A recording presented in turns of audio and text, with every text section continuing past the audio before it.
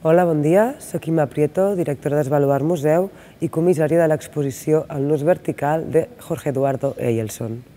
Aquesta exposició és la primera retrospectiva a Europa de l'artista d'origen peruà Eyelson, eh? Jorge Eduardo Eyelson.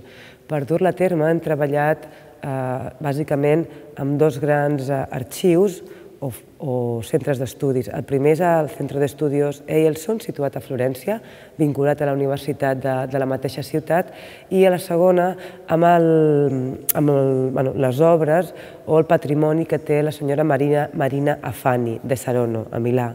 Eielson va ser un artista que pràcticament des dels anys 50 es va, va arribar a Europa, concretament a París, a través d'una beca d'estudis, on va conèixer l'artista eh, Sart, o de Sardenya a Michele Moles.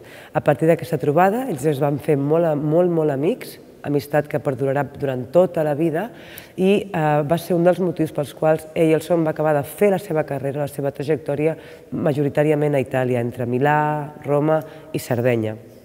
L'exposició, tot i ser retrospectiva, no té un ordre cronològic a les sales. El que intentem és, a partir d'un marc conceptual molt clar, que es basa en tres conceptes, veure quin és el seu univers conceptual.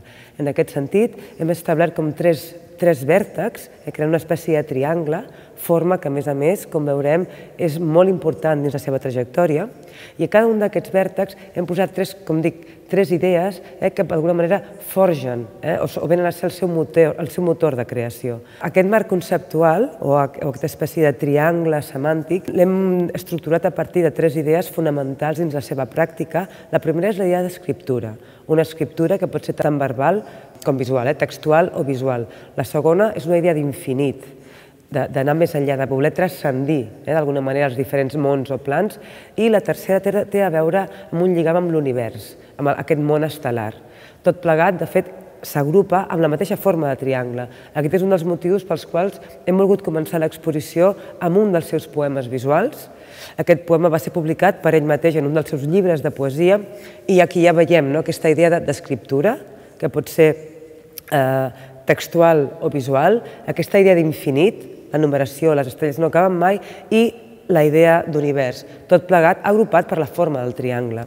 Un cop establert aquest món o aquesta voluntat de transcendir, eh, de transcendir els mons, comencem l'exposició amb les seves primeres pintures, el que es denomina o es coneix com a paisatges infinits, uns paisatges que ens recorden aquesta atmosfera de, de Lima, no? del seu Perú natal, on veiem aquesta espècie de boirina. Eh? Són paisatges grisosos, blanquinosos, on, però, apareix subtilment una idea, una idea d'horitzó, eh? però un horitzó que, eh, que s'esgavella, eh? que, en el que apareixen esquerdes. Aquesta esquerda recupera a mesura que anem avançant amb el temps i és un horitzó que es converteix en cicatriu, una cicatriu que ja denota una ferida, eh? perquè el que fa la cicatriu és denotar una ferida. Per tant, és una cicatriu que tampoc està guarint, eh? que està esperant ser, eh, arribar a un estat de pau i de transició amb el propi cos. Serà aquí, en el moment que, que encara als anys 50-60, on introduint la, diferents peces de roba, eh, com la camisa, la corbata, manté l'horitzó, però ja veiem que el trencament és total. Veiem a dalt un cap, un cap cridant, un cap que pateix, i a baix un cos, un cos desmembrat, sense cap. Aquí ja s'apunta a cert conflicte a la masculinitat. De fet, Eielson, com molt bé recull el, recull el text que ha fet pel catàleg Miguel Ángel López, eh, sempre va haver d'amagar la seva homosexualitat, tema que el va portar d'alguna manera, entre molts altres, a viure en aquesta espècie d'autoexili a Itàlia. Aquí continuem apuntant clarament aquesta masculinitat trencada, eh? vull dir, camises clarament eh, masculines, inclús pantalons. Pantalons on de nou recuperem la forma de triangle. Interessa d'aquesta segona eh, paret o d'aquest segon recorregut aquest triangle on encara trobem la camisa però ja apareix un, del que, una, un dels símbols que seran característics de tota la seva trajectòria, com és el nus. Un nus que no és un nus normal, és un quipu. Els quipus eren un sistema de llenguatge tan comptable com textual típic de les cultures andines o prehispàniques, per tant, propi de les seves cultures originàries, un nivell un, en relació a un món ancestral. Aquests quipus van ser prohibits per l'Església Catòlica quan es va eh, descobrir Amèrica, és a dir, o es va arribar a Amèrica, perquè Amèrica ja estava descoberta, bàsicament. Senzillament, a Occident no es coneixia. Però és important que ens quedem aquí perquè és quan començarà a utilitzar els quipus i a partir d'aquest moment el que farà serà quedar-se amb el quipu com a nòdul d'expressió, eh, com a potència creadora, deixant les camises o les robes eh, de, de costat i centrant-se en aquestes tensions en l'espai. Ell juga amb l'espai, creant nous horitzons sobre la superfície de la tela a partir d'aquests aquest, llenguatges codificats. Hi ha de diferents maneres, èpoques, però de fet des dels anys 60 final, fins a final dels seus dies no deixarà d'utilitzar equipos. Les sèries que tenim aquí al museu, com dic, són creades a ex professo, és a dir, per a l'ocasió, i normalment estem encara als 60-70, però continuarà treballant dins d'aquestes dinàmiques. Interessa aquest petit moment d'inflexió on, tot i que veiem les similituds tan cromàtiques com de materials, veiem la, utilització de l'arpillera, per exemple, els quipus, interessa com aquí, mantenint aquesta cromàtica, eh, diguéssim, vermell, no? negre, eh, la, la, el mateix teixit, apunta de nou aquest univers que té a veure amb aquest seu passat ancestral, amb aquestes cultures prehispàniques on a partir del ritual es creen no només eh, jocs o relacions de comunitat, sinó que la finalitat de les mateixes és transcendir, és entrar en un altre estat de consciència per veure més enllà.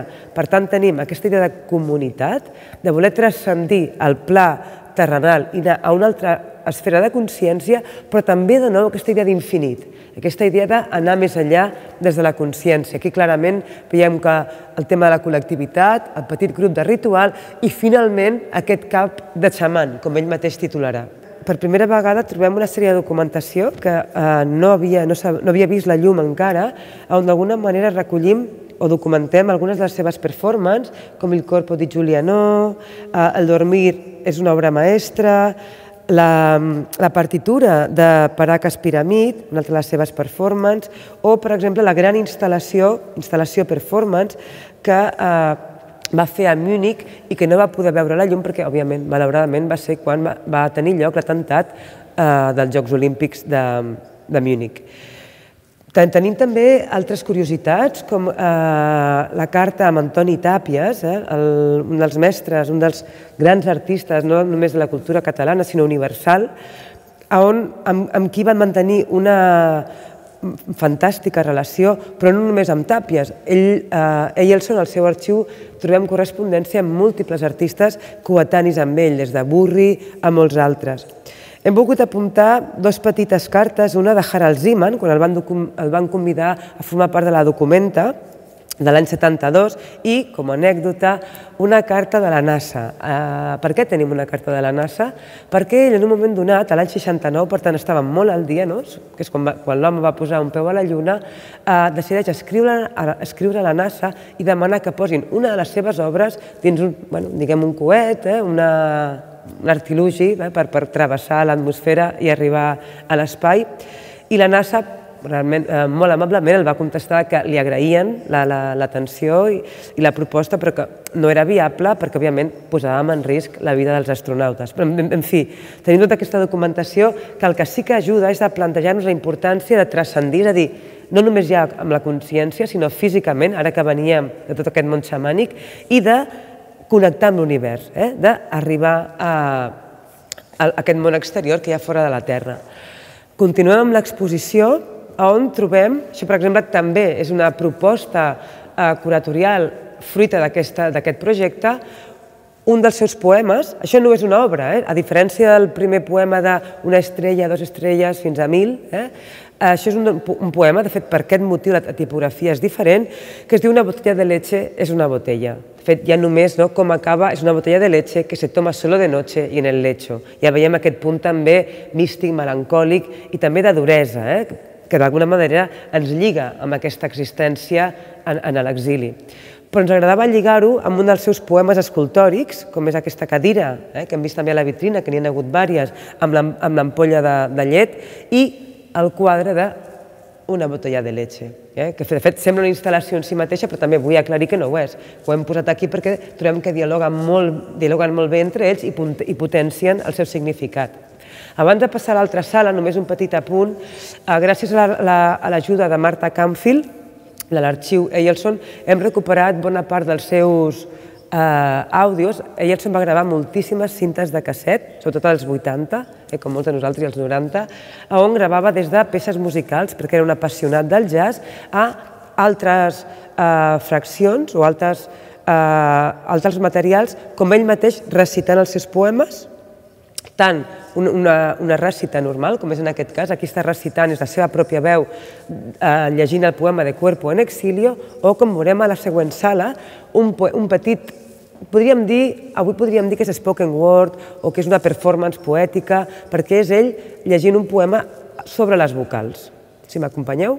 Entraríem en aquesta segona sala, on si bé d'alguna manera a la primera ja trobem tots aquests elements que seran claus dins la seva trajectòria, no? tot el, el quipo com a llenguatge, l'interès per la comunicació, ja sigui visual o textual, la idea d'infinit, la idea d'univers, la idea de transcendir un estat de consciència terrenal i anar més enllà, no només psicològicament, també físicament. En aquí ens concentrem en sèries concretes, en tot, tot aquests interessos es potencien. Comencem, perquè quedi molt clar, de nou amb una d'aquestes recuperacions eh, auditives i en aquest cas és una d'aquestes performances eh, eh, poètiques on en, eh, es centra en les vocals. Trobem el propi i el son dient A, E, E, U, U, U, i a partir d'aquí ens, ens endinsa en un món molt més abstracte a partir de la pronúncia i la freqüència eh, de les vocals, elements bàsics per construir també un, un, un llenguatge i un vocabulari. De fet, no és casualitat, i per això posem al costat de l'àudio, que aquesta peça es digui alfabet i estigui composta per diferents quipus, eh? també elements bàsics de comunicació i llenguatge dins d'aquestes cultures primitives. Aquesta retícula, d'alguna manera, ens porta a aquesta obra, hem vist la partitura amb algunes fotografies a la vitrina amb la documentació, que és Paracas Piramid, on ell mateix, el seu propi cos, esdevé no només triangle, sinó nus, és a dir, element de comunicació. Aquí tenim una proposta una mica, eh, mm, diguéssim, més arriscada, perquè si per un costat tenim les obres que ell mateix va anomenar com a constel·lacions, ja tenim Andròmeda o, o Cygnus, on veiem que cada estel ve a ser, ve a ser un d'aquests punts, al davant el que hem fet és pensar no? o atrevir-nos a pensar tot el mur com si fos una de les seves teles i com si cada un d'aquests quipus fos, fos un d'aquests estels que ell representa a les composicions o a, o a les pintures. Continu continuaríem avançant per l'espai, que tenim una de les seves xarxes, xarxes metàl·liques, en les que també eh, feia algunes de les seves performances, que d'alguna manera permet travessar la visió i anar cap a aquella llum cenital eh, que no té fi, que també apunta a l'infinit. En aquest tercer i últim espai el que tenim és una nova instal·lació, també creada ex professo. De fet, cada una d'aquestes peces és individuals. Hem decidit agrupar-les per potenciar també la seva presència en l'espai, però, òbviament, la peça principal és aquesta cadira que ell va titular Proliferazione, o proliferació, és a dir, una cosa que, que creix, que surt de si mateix, que mana eh, i que es desenvolupa. És com si aquests nusos poguessin eh, créixer i eh, ocupar, eh, atravessar, estar, a, a habitar l'espai. Per potenciar el que han fet, situar tots aquests quipus, eh, o nodos, o nusos, nusos compostos per diferents eh, eh, tensions, i, i quipus en si al seu voltant com si fos un jardí, un jardí com si de la cadira realment s'hagués pogut proliferar no? aquesta capacitat comunicadora de les peces. Després mm, d'aquesta de, potència cromàtica, d'aquests estels, d'aquest univers, ens semblava important arribar a un moment de més, més, més tranquil, més de pau, potenciat per aquest blanc, per, aquesta, per aquestes tensions blanques, accentuades amb aquest cap de xaman. Un cap que evoca el silenci, però també la sorpresa, una presència, eh? una presència que ens acompanya i que ens situa en aquest estat proper a l'ascensió.